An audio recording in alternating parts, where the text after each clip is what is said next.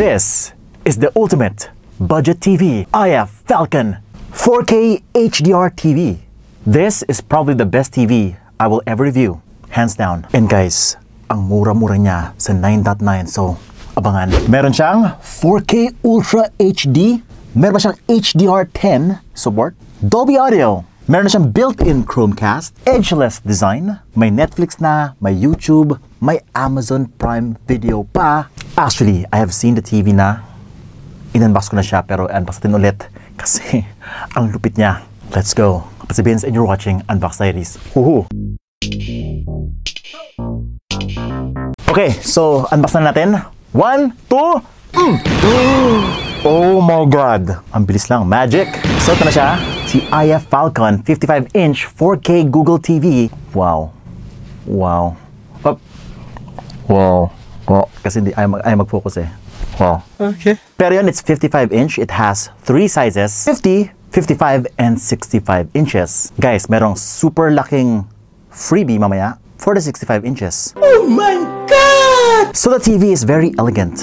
It looks beautiful, it looks high-end. Yung bezels, very borderless yung kanyang itsura. But it still has some bezels on the sides. Kita mo pa rin. Pero compared to other TVs, this looks very sleek and very elegant. Masarap ilagay sa inyong living room, sa inyong kwarto. Masarap po manood ng mga movies using this TV. Sa likod, ito yung kanyang mga ports. Meron po siyang USB 2.0, may LAN port, meron siyang tatlong HDMI ports, may antenna, may audio out na yellow, and black, which is yung headphone. Uy, may headphone jack pala to. At meron pa siyang optical out. Wow! Ito po yung controller niya, no? The controller is very modern, very simple lang. It's got this circular pad right here at the center, home button, and you got here shortcuts for Netflix, Prime Video, Guard, Media, YouTube, and that's pretty much it. Meron siyang 2 years warranty certificate. Meron pa siyang Google TV operation manual. Uy, may energy label pa siya. oh.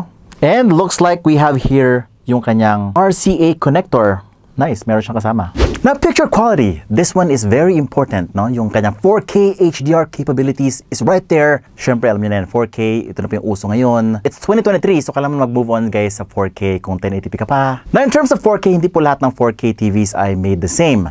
Some of them are not so good, not so sharp. But this one, the IF Falcon 4K HDR Google TV, is a very, very sharp, very beautiful display. Ang una ko napansin is yung kanyang color. Wow, the, the color on this one is pretty, pretty good. Kasi guys, before yung mga chuchu na TV, hindi ko masyado gusto yung color. Medyo artificial na thing. This one is very close to those very expensive TVs that you see on one of the bigger brands.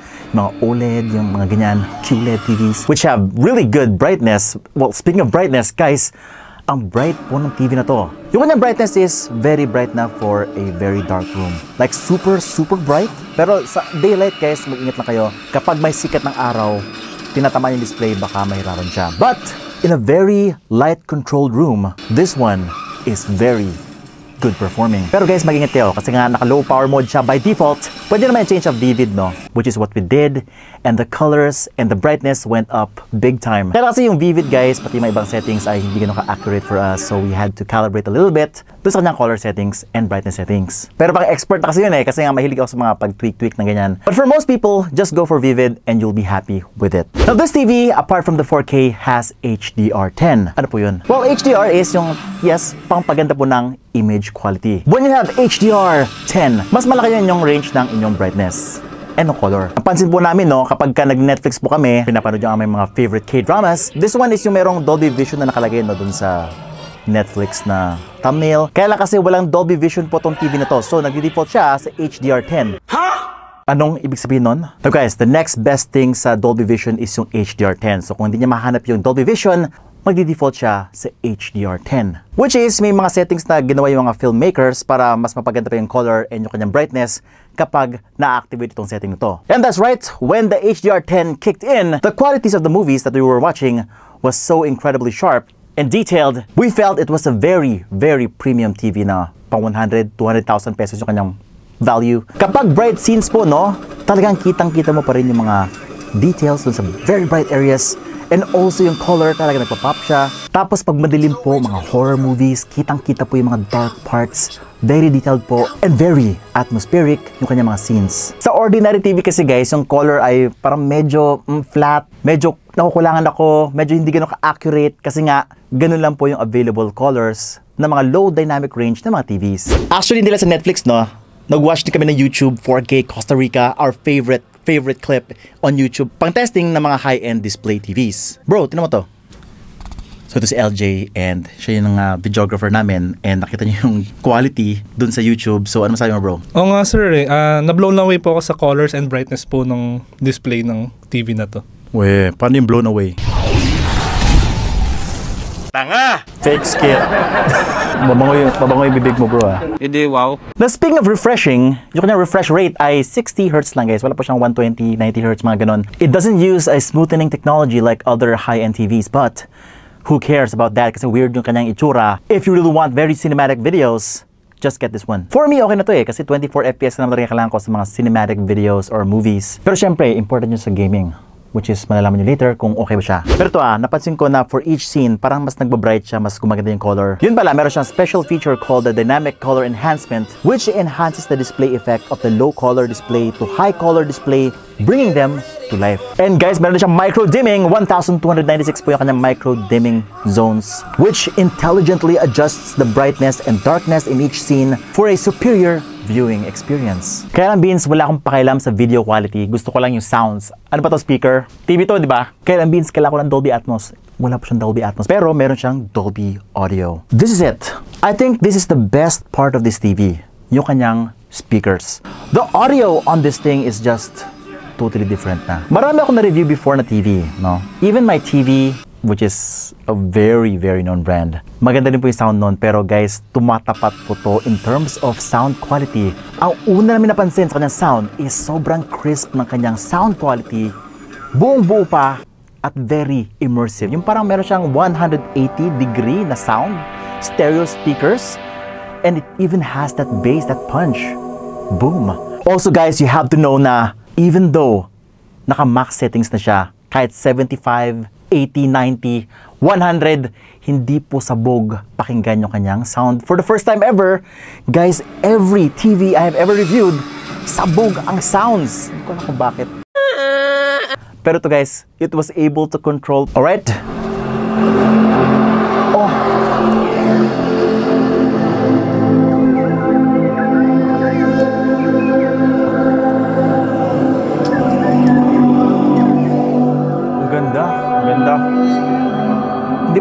100. Oh. Diba guys? Buong buo pa rin siya. Wonderful. Na-blown away ako. Hindi lang kay LJ. Pati na sa TV, sa kanyang sound quality. Grabe guys. Gunggong! Thank you, thank you.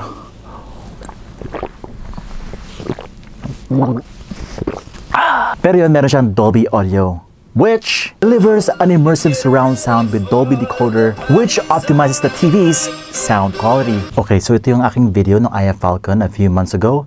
And look at this. Press ko lang yung Chromecast and Smart TV. And boom. Ayan na. Anything na meron sa phone ko, ikakas na lang dun sa YouTube. And all you need to do is just press this icon right here. It has built-in Chromecast. Click mo lang yan, and it will cast sa TV. Boom. O nga pala guys, meron pa siyang Google TV. Now, the IF Falcon 4K HDR Google TV is, you got it, a Google TV guys. So gumagamit po siya ng Google TV as its OS. Let me tell you, this Google TV OS is the best OS available for any kind of TV. Discover new movies and shows among your subscriptions and the content you can access. Receive recommendations based on your interests and what you've recently watched. Now, unlike other OS, no, ito po ay simple lang tingnan and for the first time din, napansin namin sobrang bilis po niya mag-navigate. Guys, ito yung pinaka-struggle ko sa mga TVs, even yung mga premium TVs na worth 200, 300,000 pesos which I have at my home. Ang bagal po ng interface ng mga TV. But this one, pero meron dito. Ang bilis naman masyado. Hindi ko sure kung ano kanyang processor pero napakabilis. Every time we switch apps, parang almost instant yung dating sa amin. Very smooth. Pero guys, ganito, ganito ako gumamit ng TV sa bahay. Ito nito. So, all you need to do is press this Google button right here on the controller and Mr. Suave Karaoke. Got it. Here are some videos. Ay, ang bilis naman. Let's do this. Nasa ula ba ang iyong mga mata? Up. Monetization. Okay. Pwede, pwede ka mag-search ng kahit ano, gamit lang to. Unbox Diaries. Sure. Here are some videos. Wow, ang bilis. Basketball. Here's what I found on YouTube. Boom. Football. Here's what I found on YouTube. K-drama. Alright, showing K-drama TV shows. Meron sa ano? Netflix. Opening, Netflix. Wow. High touch. Play Squid Game on Netflix. Alright, here's Squid Game on Netflix. Volume 25%. Got it. Volume 75%. Got it. Turn off the TV. Sorry, it looks like the TV isn't available right now. Go back to YouTube. Opening, YouTube. Guys, magical. So baka di nyo pa alam, ganun pa ako gumamit ng TV and it's so convenient. Hindi na pa magta-type dito kasi nga wal- wala pong keypad na madali pong mag-type which is, alam nyo naman kapag ka sa YouTube, ang hirap di ba pa isa-isa? This one makes your life much, much easier. By the way guys, meron pa siyang Google Watch List and it's one list for all your discoveries. When you see an interesting show or movie, pwede mo siyang i-add sa watch list mo to keep track of new discoveries. Now overall, this TV really blew us away.